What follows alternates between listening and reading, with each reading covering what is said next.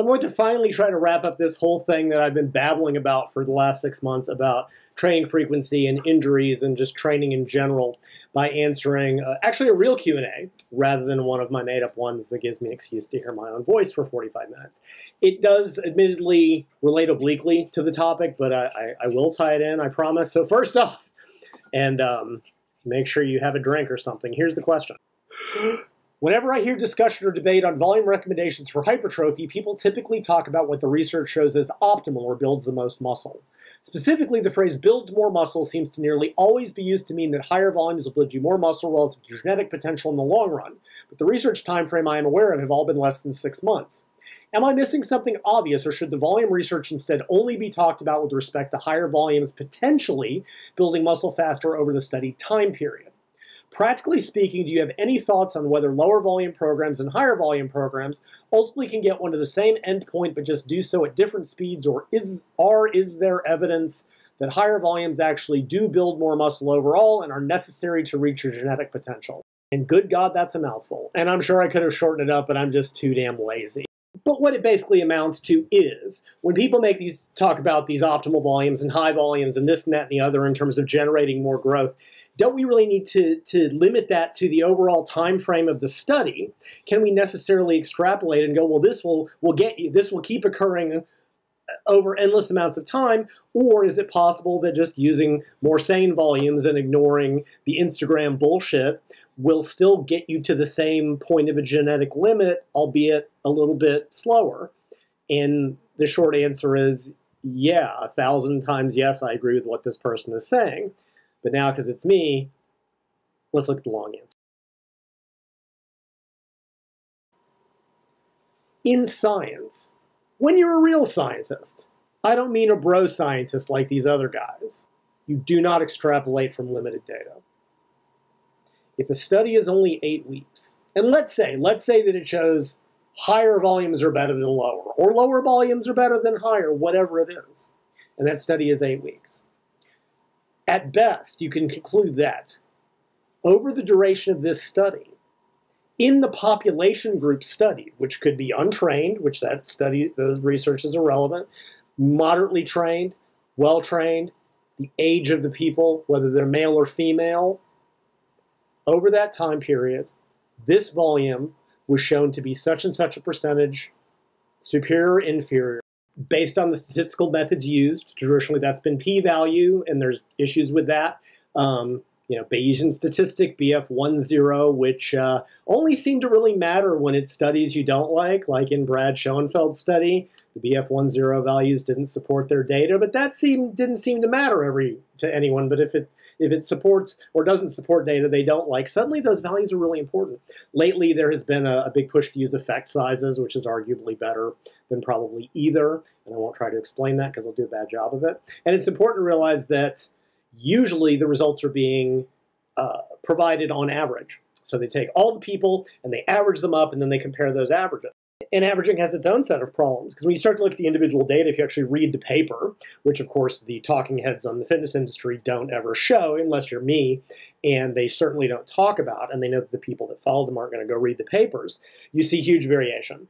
So like here's, good God, here's the low vol, here's the higher volume group, and here's the lower volume group, and you'll see that some of the low volume group get more growth than some of the high volume group, right? But then some of the higher volume group get more growth than the lower volume group. And it's the average that you're looking at. And so the average ends up a little bit higher. And that's what they report. Oh, there's greater growth from 16 sets. Well, on average, in some people, except the ones that grew better on lower volumes, which never gets discussed, which becomes a bigger problem because now we know that there are hyper and hypo responders to training studies have started to have people act as their own controls. So rather than compare two groups, this group does 16 sets, this group does eight, they'll have one person do 16 sets on one arm or leg and eight sets on the other and compare them to themselves. And what you find is that in hyper responders, they get great growth from either volume, and the hypo responders get shit growth from both volumes. And there's more variance in the hyper responders between sorry, there's less variance in the hyperresponders between the two different interventions than there is between the hyper and hyporesponders. Which means that if by accident one of the volume groups in a hypertrophy study happens to pull a few hyperresponders, they're going to pull the average up. And frequently, when you look at the data, you'll see this big cluster, and then there'll be this one motherfucker way up here that pulls the average up. And then when you take them out, they're usually a lot more similar than ever gets reported. Now, it gets more complicated. You can get way deep into the data and go, well, a certain percentage of people got more growth. And this data from the Norwegian Frequency Project that everybody has a hard on for sort of illustrates that, right? Like, look at the squat, right? There's kind of a cluster of data for three days versus six. And yes, more people on average got better results with six, but some got less. And there's one dude who got fucking freak show results. For bench press, the cluster's a lot closer with some of the guys in three days getting more than the six, but on average, more got more results out of the six, and it, you can see that in all the other graphs. And I'm not saying this is right or wrong or good or bad. I'm just pointing out that, like, when you're only presenting averages, it tends to obscure the details because, newsflash, all of you listening to this are not an average. You're an individual. And the individual results are what are far more important. Like, you can parse this a lot of different ways. I'm simply pointing out some of the issues with what science actually finds and how it's actually presented. And as far as the hyperresponders, we can't identify hyperresponders ahead of time. It's only after the fact. Oh, this motherfucker grew like crazy. He was a hyperresponder. So again, if by accident, because we all know researchers, scientists aren't biased, and you can trust them, right, Brad? Trust. Trust. Yes. Jesus Christ. Trust. Right. That's why you don't have to blind, because people can trust you, for fuck's sake. Or never had to blind until you changed your mind recently. All it takes. But again, that's not how the data is ever presented. It's always presented as this volume caused this much greater growth than this, or that's it. Because nuance is lost and doesn't provide for pithy Instagram memes. Hypothetical example. Uh, you take 20, 24 year old males which have moderate training experience, which, make no mistake, that means nothing. You've been in the gym as long as I have, which is 30 years professionally and 40 years training, you know that the number of years someone's been training doesn't mean shit. You can train for 10 years and still have shitty technique and train with no intensity. You can train for a year and be a monster. You have to use something as a cutoff, but those values don't mean anything. Yes, some studies will measure maximum squat strength in terms of body weight to get a better indicator, and that's fine. But again, I've watched people squat. Most of y'all can't squat worth a fucking shit, technically. Regardless, 16 sets versus 8 sets over 8 weeks. And if you're wondering why exercise science studies are typically so short in America, it's because they run on the university system which most schools run semesters. UCLA ran quarters, which means you've got a 10 week span for a quarter or longer for a semester to do your study. So you've got to plan it, mark it out, get your subjects, do the study, and then do the analysis within that semester. So it's limited in time. So anyway, you give this and you do whatever measurements, ultrasound generally, which is sensitive to a whole lot of things, which I'll come back to, and you get your results you know, assuming that the assessor is blinded, unless he's Brad, because then he can't be biased and you can trust him. Jesus. And uh, you find that on average, the 16 set group gets 2.5% more growth, statistically significant via p value BF10 when you pretend those numbers matter effect sizes than the others. Great. If you were to read the actual study and read the conclusion or the application if you're reading JSCR, it will flat out say this study has found that in this population of this age, with this training status, this generates this result within statistical significance. And that's it, because that's all science, science can actually conclude. And they'll also usually say something to the effect of, because of the population studied, we cannot generalize this to untrained individuals, older individuals, females, etc., etc., over longer periods of time, because that study showed what that study showed, which is what that study showed, and nothing more. That's important because frequently when you do finally study those other population groups, you see discordant results. Frequently what works in younger individuals doesn't extrapolate to older individuals and vice versa, which is why when guys like Menno put up these papers where they studied 76-year-old men and generalizes to everyone, well, these aren't real scientists. These are social media influencers, and make no mistake about that. Same thing, generally with untrained individuals, doesn't matter what you do, they get the same results. You cannot generalize from untrained individuals to trained individuals. And in 99.999% of cases, animal research never translates. So fuck animal research. That one's aimed at you, Chris, because you love those untrained studies. You love those studies in animals to draw your conclusions. And then you let Paul Carter echo them. Moving on. And then if you go read the Instagram post, all that shit gets left out. Higher volumes are better and generate 2.5% better growth. That's all that gets reported. Because the details, the nuance, don't provide pithy Instagram memes or edgelord Instagram memes. And these exercise scientists online, i.e., the modern bro scientists, know that if they were to present the nuanced data, they couldn't draw those strong conclusions. And they also know that the people following them won't go read the papers unless they're me. And then I present the reality, and then they block me because they're all cowards. I digress. My long winded point being that what actual real science can conclude is very limited to what was done. And yet somehow that always seems to be different than how it gets presented online, unless you're watching my overly long videos. Now let's look at a not so hypothetical example. It's a very real world example, right? Since people still think of me as the keto guy for reasons because of my first fucking book however many years ago, they'll frequently ask, what are the long-term effects of keto diets? And I'll say, well, we don't know. The longest data that I have seen, and again, I haven't looked into this very recently, was about three years, and that was in epileptic children, which is not necessarily a good model for adults dieting uh, for a number of reasons, not only being that they're adolescents, and also the, the way the diet is set up for epilepsy is very different than for fat loss. So my, my only legitimate answer that I can give is, I don't know. We only have data out to such and such a time. Now, does that mean that it will have negative effects or positive effects over long periods of time? We don't know. That's the only honest answer to give, and that's the answer that I will give. I mean, I wish we knew. I mean, this is a problem with science, right? The study can only be as long as it is. And, you know, another approach is they'll frequently follow people over 10, 20, 30, 40, 50 years. God damn, the Framingham study has been going on since the 70s, tracking people, but that has its own set of problems. They send people questionnaires about what you're eating and they bring them in for health stuff.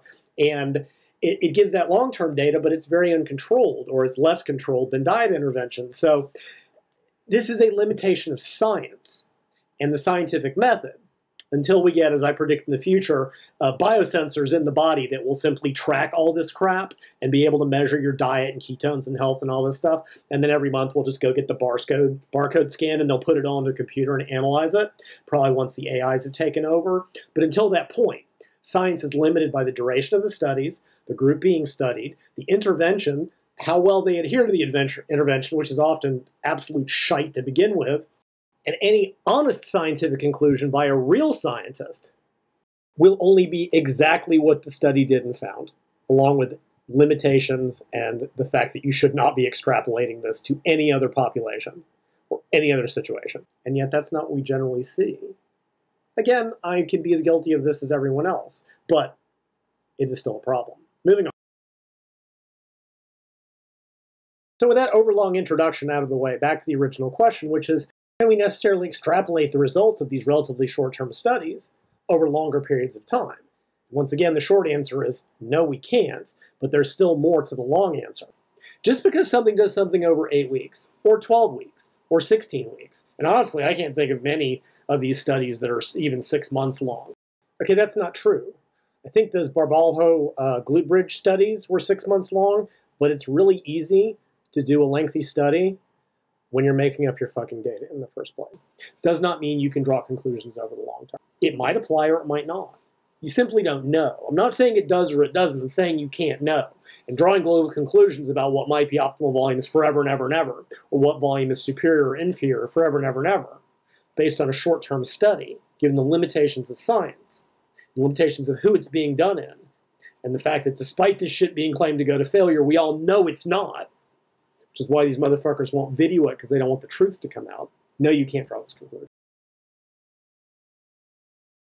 So here are a couple of examples where this really went wrong from the 2000s, which was when high-intensity interval training really sort of came to the forefront. I mean, never mind that I've been writing about it since 1998, the industry usually takes about a decade to catch up with me. But because of a couple of studies and interest in this, interval training got blown way the fuck out of proportion. I imagine a lot of you are familiar with something called the Tabata Protocol. It was invented, bizarrely enough, by an ice speed skating coach. And I, I really need to do a video on, on how weird that sport is, to because I keep bringing it up as an example. And the coach's name, either the coach's name was Tabata or the guy that researched it was Tabata, I forget specifically. But it was a protocol where you performed eight repetitions of 20 seconds all out. And by all out, I mean at 170% of your VO2 max wattage. Like massive, like truly super maximal, alternated with 10 seconds of easier recovery. And you did eight total repeats of this. So it was a four minute protocol after warm up and with cool down and stuff.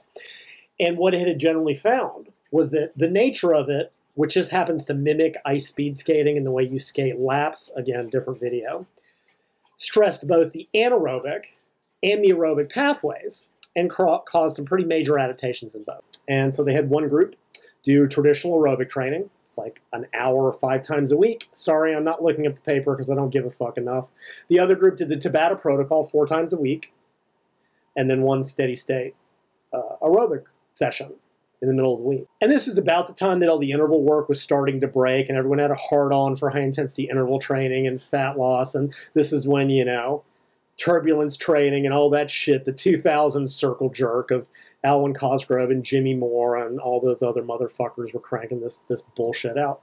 But anyway, here's what the study found. It was found that over three weeks, the Tabata protocol generated improvements in both anaerobic capacity and VO2 max that were significantly higher than the standard aerobic group. Great. And everybody concluded, see, Tabata, Tabata, Tabata. Just do Tabata all the fucking time. But you can't conclude that. You conclude that over three weeks it does. If you actually looked at the data, because the study was six weeks, over the next three weeks, the Tabata protocol stopped generating improvements. It was three weeks of greatness and then three weeks of jack shit. But that didn't stop everybody from going, oh, just do intervals all the time. This study shows that interval is superior. Well, for three weeks. And there were other studies like this. So there were several in cyclists. Now realize, uh, athletes have been doing interval training for decades. It was just about the time that it really started to be studied in a scientific sense, trying to optimize in terms of frequencies and durations and all that stuff. So like it was nothing new from an applied standpoint. It was just scientists, they need something to keep themselves off the dole. So here's another example of this. They're all fairly typical, right? So one of the earlier ones, they took fairly well-trained cyclists who've been riding whatever 300 kilometers per week, some ungodly amount, and they replaced like 15% of their total training volume with interval training. And in one of the first studies, they had them do it was like two interval sessions for three straight weeks, and six total interval sessions, or maybe it's three a week for two weeks. It doesn't matter. They did six total sessions. And they saw this really drastic increase in peak power output and time trial performance and, and all that stuff, which again was consistent with what the, the athletes had found. So once again, that very well might lead to the conclusion that CC intervals are better, or at least doing some volume of intervals as part of your overall aerobic training is better, better, better. But see, two to three weeks is um well, it's only part of the year, and I mean, check my math on this, but like there are uh, carry the zero 49 to 50 other fucking weeks a year. Based on what I said earlier in the video, is it safe to extrapolate from this one study using six total interval sessions to longer periods of time? Well, based on that, we don't know. Maybe it helps, maybe it doesn't. But then there was a second study, and it did a similar thing, replaced 15% of their 300 kilometers per week of training, but they either did six interval sessions or 12 total interval sessions. So basically three weeks or six weeks of two interval sessions per week. They measured all the same stuff as the earlier study. So it's basically a replication, but seeing what happened if you did twice as many intervals. What happened? Because what they found was that, yes, the athletes got this huge improvement with the first six interval sessions, and then Jack Crap doing six more, stating after four to six interval set training sessions, two to three weeks, peak power output was typically increased by an average of 15 to 20 watts. However, increasing the number of HIIT sessions to 12 had no significant further effect on the cyclist's peak sustained power output. Adding, although there was no improvement in the cyclist's 40 kilometer time trial speed with only three interval training sessions, Time trial performance was significantly enhanced after six HIT workouts. Typically, cyclists improve their 40 kilometer time trial speed by blah, blah, blah, blah, blah. It appears that increasing the number of HIT sessions from 6 to 12 does not result in any further improvement in cycling performance. Indeed, most of the HIT induced improvements in both peak power output and 40 kilometer time trial performance appear to be completed after only six HIT sessions. That's pretty clear cut. In the one three week study, yeah, six sessions worked great. And if you were dumb and didn't understand science, like people in the 2000s, you would conclude that, oh, intervals, intervals, intervals, because that's exactly what they advocated. But then you look at the follow up study, and it shows that intervals, great bang for the buck for about three weeks. And then you get no further results other than extra fatigue and workouts that the average person isn't going to do. And this brings me the very long way back to the original question to talk about the hypertrophy issue. What is happening is what this person was asking about, as people are going from these short-term studies and assuming, well, this, this happens forever. So you can probably see where this is going. These studies that are part of the endless volume wars, that as we flip-flop back and forth, right? Brad's study came out. Everybody jumped on the volume train. I said it was bullshit. I did a complete analysis of the volume studies to date and showed that on average they still suggested 10 to 20 because Brad misrepresented statistics and all his little sycophants backed his bullshit until five years later they all walked it back and were saying 10 to 20 sets again.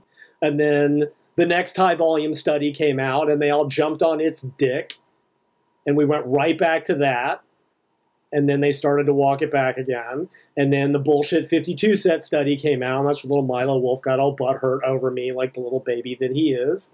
And best, right? Well, let me go back.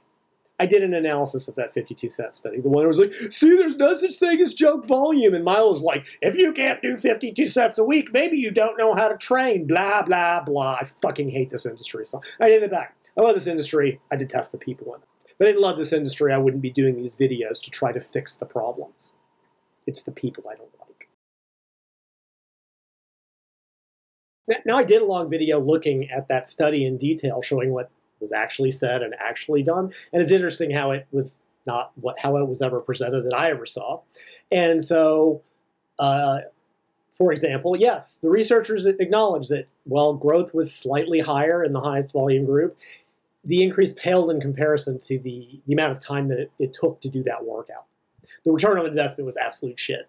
There was the fact left out that the highest volume, that 52 weeks, that's only two weeks of the study. They ramped them up every two weeks from 20, right? So it's not like you can even fucking conclude 52 sets is optimal. They did that for two weeks. That got left out. There was the fact that it was in quadriceps only. And this, no one ever seems to have, have addressed my question. Even if 52 sets per week were optimal, which the study did not support. How do you apply that to the entire body? There are, depending on how you want to count it, eight or nine major muscle groups chest, back, delts, biceps, triceps, quadriceps, hamstrings, glutes, and calves if you give a shit. Are you going to do 450 hard sets per week based on this? This is the same industry that says that three sets to failure causes excessive neuromuscular fatigue, yet they jump on this bullshit uncritically. Hmm, funny that. These are all issues with this study that got left out of all the Instagram bullshit as people blathered about this. You can go find that video. I put up the screenshots of all of this so you can see what was actually done and what actually happened. And go compare that to how they reported on it. And you might learn a valuable lesson about why you shouldn't listen to those morons. Practically, was this study interesting? Sure, science is always interesting. Was it worth changing the entire training paradigm because a god, bunch of goddamn Instagram gurus had shit to sell? No, because at best, at best, that study showed that over eight weeks, you could ramp people up to these high volumes, massive volumes, and they got a slightly greater growth increase for investing two and a half times the duration in a single muscle group, which precludes doing jack shit for anything else. To go to ask the question, you know, is high volume right for you is not the right conclusion. And yet that's what happens. And then the next study comes out that's low volume, everybody jumps back because you got to generate content every week. Now, me, I've been saying the same goddamn thing since 2002. Again, let me try to get back to the original question. Let's say, for the sake of argument, that that 52 set study is correct. Let's say that working up to massive fucking volumes, 52 sets per week, generates more growth. Now, I probably personally don't think it does because I think what we're going to find out once they finally do the the, the base uh, the basic science is that all we're measuring is water shifts. That's my prediction. I could be very wrong about that, but I won't be. Uh, we know that massive volumes cause massive inflammation and fluid shifts, and I can almost guarantee, as a, again a video I did, it's going to end up being water shifts, not real growth, because you simply can't get that much real growth in the, the short time periods of these studies. But let's assume that it was. Let's assume that doing two and a half times as long of a workout did generate slightly more growth over those 12 weeks. Okay, now let's see. If I check my math. Uh, 52 weeks in a year minus 12. That leaves 40 weeks out of the year. So here's a question. What the fuck are you supposed to do for the rest of the year, guys? Are you going to maintain 52 sets? Even the researchers said that everybody in the highest volume group was real tired at the end. Even little Milo Wolf, and he left this out of his reports, talked about having to take fucking ice baths the night after he did sort of did that workout as part of my challenge. Now, no, he didn't build up to it, and maybe that would have changed it. Even if, even if, and this is a big if, the results of this, that slight increase of growth from this highest volume were true, you can't do that year round. You can't. You can't. The researchers never suggested that you could, and yet all the Instagram people reported it exactly like that. Now, they might have said it explicitly, but they sure didn't say the opposite. By the time I saw the fucking, there's no such thing as junk volume. Well, that makes it sound like the more volume, the better all the time. That's not the conclusion of the fucking study. Milo Wolf, is high volume right for you? No, you fucking moron, because it was a short term study and even you wouldn't be able to survive that volume in the long term because nobody can. So even if even if the growth was real, and maybe it was, maybe it wasn't. Like I said, I'll be proven right. Trust me. He said, altogether too smugly. We'll see how bad my hubris is. Even if it could be done for the whole body, which it can't, unless you want to do 450 fucking hard sets a week. It's only for two weeks of the study. What do you do the rest of the fucking year, guys? Why is this never being addressed? If interval training craps the bed in terms of progress after two to three weeks, what the fuck do you do the rest of the year? Why can't supposed scientists with supposed degrees, even they're from utterly shitty universities, not know better than this? When they talk about these things, if you're going to claim to be a fucking training expert and pretend you know goddamn anything, you need to explain what do people do the rest of the fucking year? Or you need to be able to explain why you think the results of these relatively short term studies can or cannot, or do or do not apply to a long term training career. Because at the end of the day, what's happening in these short term studies is a small part of the picture. Let's go back to reality and forget that's for the sake of the example bullshit. Go back to the original question again. The answer to the first part of it is that no, you can't assume that these results are going to continue in the long term, especially at the highest volumes.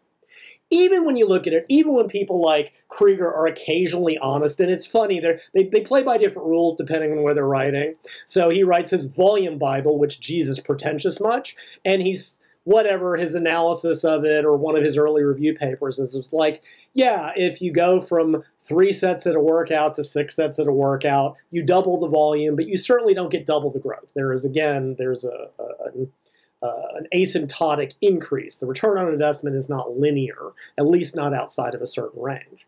And I think in that piece he wrote that, you know, five sets per workout kind of gave was the minimum to get growth and 10 was kind of the maximum, which is interesting because Brad's paper, which he defended so vigorously before he blocked me like the coward that he is, used 15 sets and somehow check my math, but 15 is, is more than 10. I mean, he did kind of go, well, if you're using short rest intervals, you need more volume to, to make sure that he covered his ass. And that's not wrong, but somewhere between 5 and 10 sets.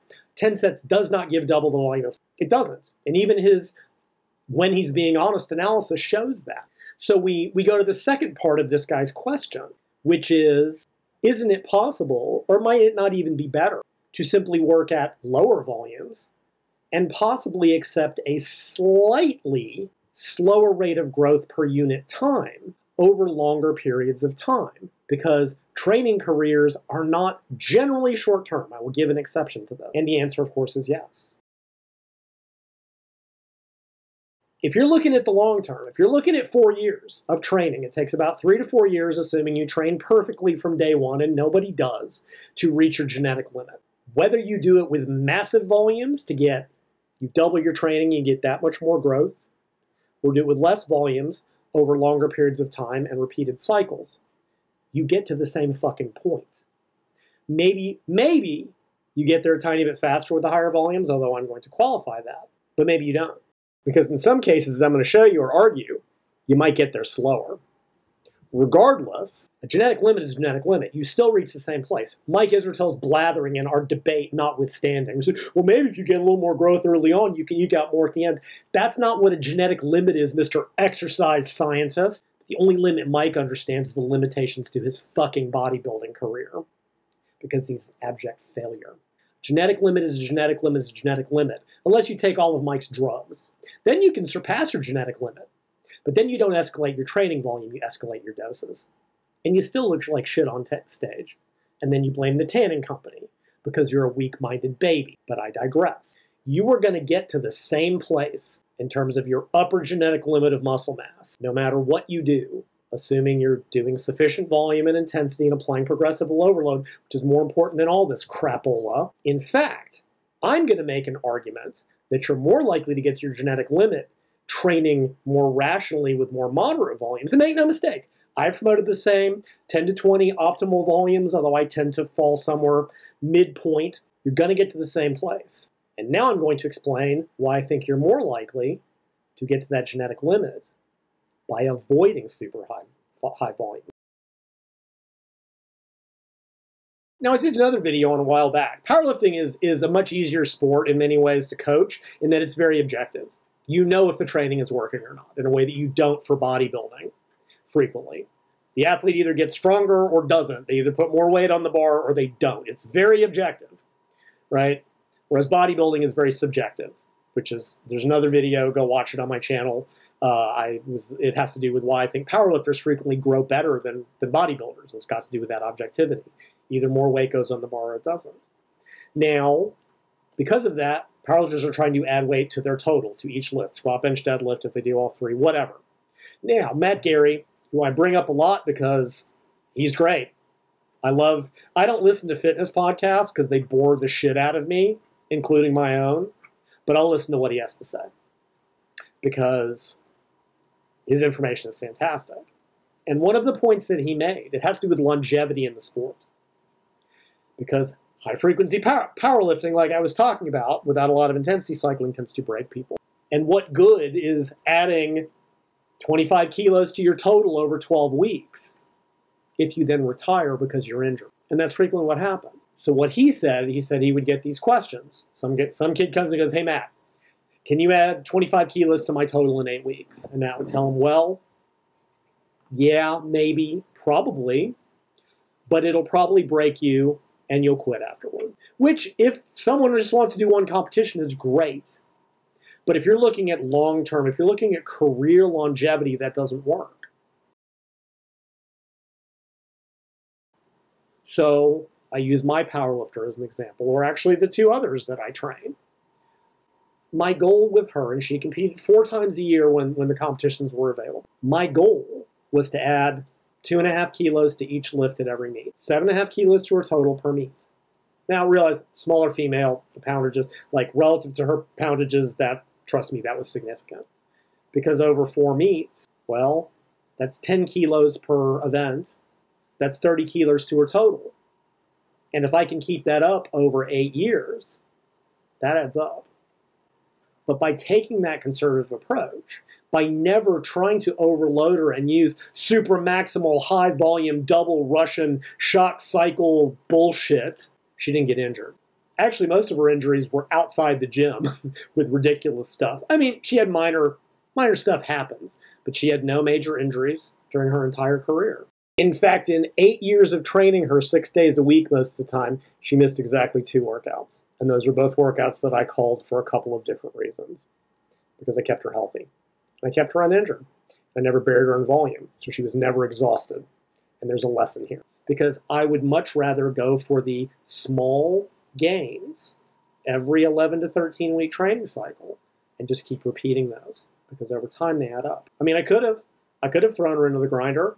I could have said, all right, we're going for it. This meet, we're going to go for 10 kilos per lift. And I probably would have injured her and it would have ended her career. Or I get, you know, now, now not everyone can compete four times a year. I'm not saying do that. I'm not saying this is descriptive, not prescriptive, right? I'm trying to make a fucking point because you will see people that go, they're going to go to one meet a year and they're like, I gotta, gotta make these huge jumps. I gotta add 10 kilos to every lift because I got a PR.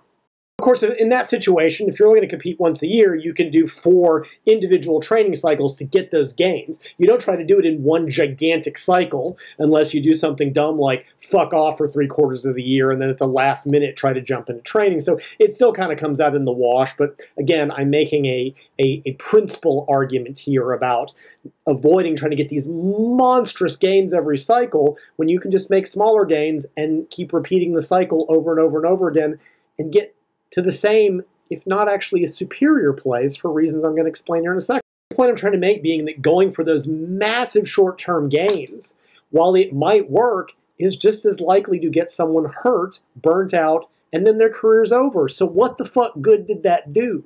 I knew I could eke two and a half kilos out of every lift for her every 13 weeks. And over eight years, it added the fuck up, including her final deadlift, which was 391 pounds at 114 nearly three and a half times body weight.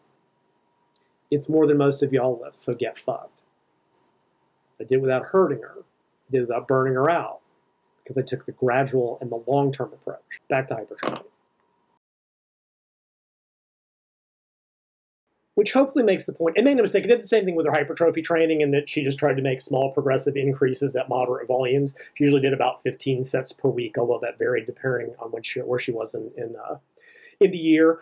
Um, small PRs every cycle over a span of eight years, it adds up. Because I will argue, and I'll be right, that from a long term perspective, you are actually going to be better off training at more reasonable volumes and doing repeated cycles where you're making progress than trying to throw these massively high volumes at your training, which, even if they do generate slightly better short term results, assuming they do, assuming it's not just water and inflammation, which it will turn out to be most likely, in my opinion, that shit burns you out. Even if it is effective over 8, 12, 16 weeks, you have the rest of the fucking year.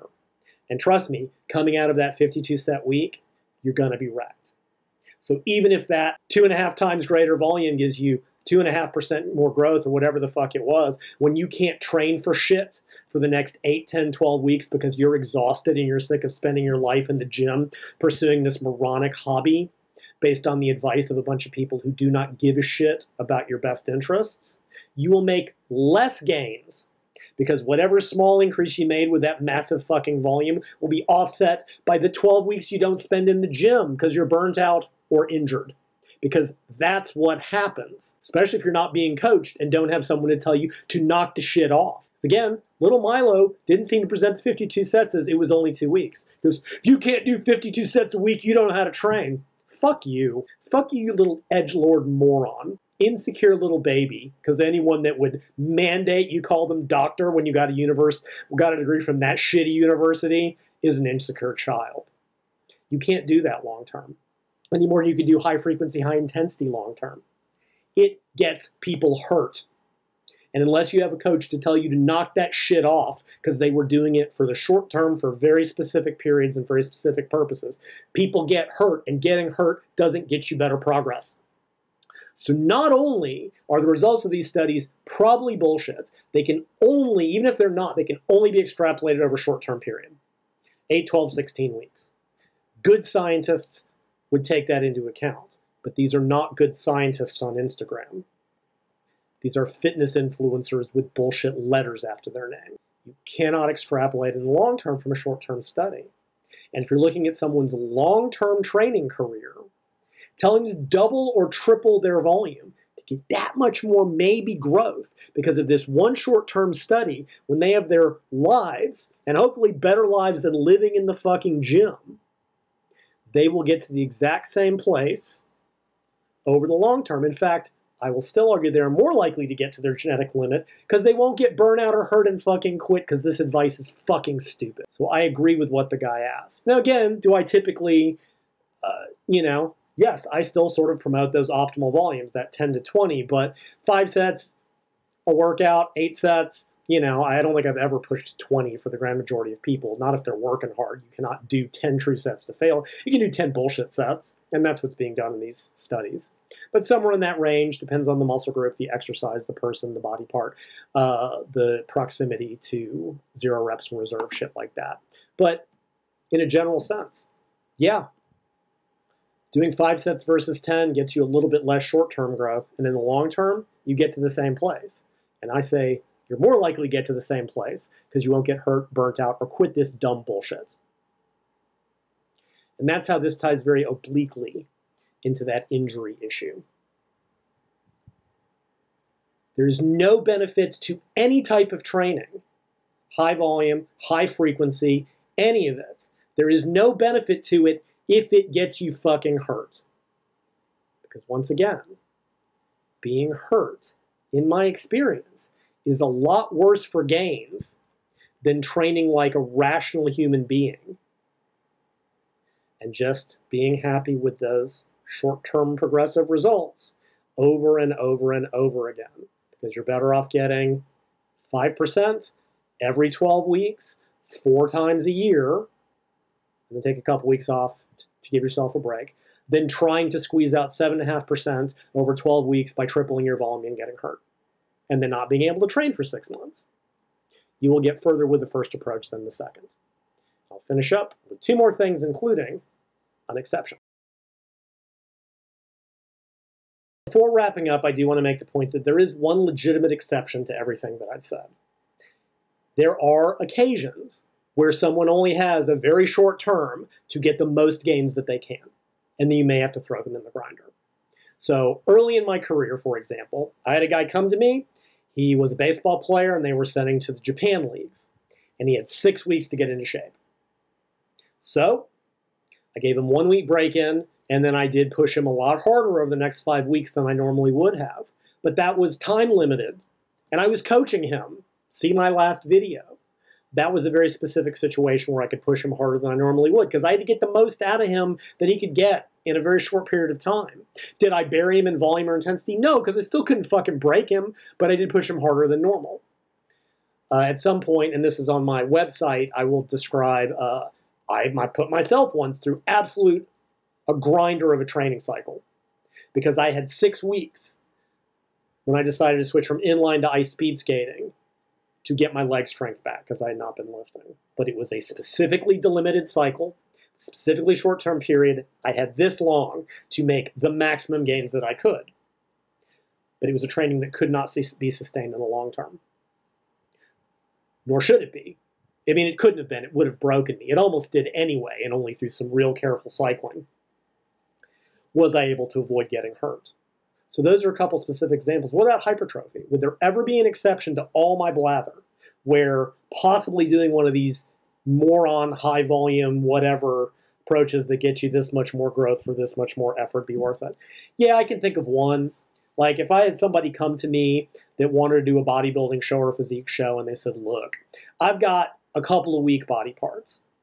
I'm starting my contest diet in eight weeks, and I need to bring them up to as great a degree as possible before I start contest prep or I'm not going to gain any muscle. I would consider a type of training that would be in excess of what I normally do. Right? They came to me and said, hey, in two years I want to do a show. I would just do the way I always do. I would use moderate, what I consider proper volumes over the long term, repeated cycles, because they're going to get to the same place without getting hurt. But in that rare occasion where they said, I got eight weeks to bring up two muscle groups before I start my diet so I can be competitive on stage, I would use something a little bit different. But those are very specific examples. Although, to be honest, I still would do any of this moron high volume bullshit. I just put them on a specialization cycle like I always do, which works, and that would be perfectly fine. But I'm just, someone will bring up this weird exception or this one possibility, but there's still better ways to do it that don't fucking wreck the person. But that would be a rare exception.